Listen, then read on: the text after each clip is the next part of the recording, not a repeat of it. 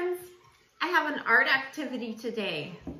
We're going to be painting some dots on this corn. I just taped it here to make it easier to see.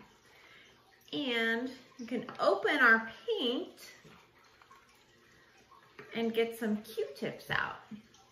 This is a great time to practice language like in the paint and on dot, dot, dot. Practice gripping that Q-tip like it's a pencil and make those dots right in a line. That takes a lot of coordination to get those dots on. You can also practice colors, of course, asking, do you want red or black? You can turn this into a math activity by making patterns. Doing two hands, you can go black, red, black, red, black, red, black, red.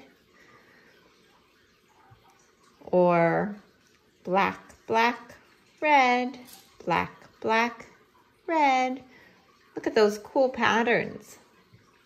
Black, black, red. That takes a lot of focus. Also, just counting the dots. As your kiddo's working on it, say, let's do five dots. One, two, three, four, five. Now it's my turn. How many dots should I do? I will do seven.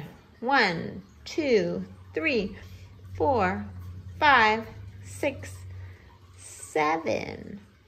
And we could talk about which row is longer. Is the red line longer or the black line? Have fun making dots on your corn art.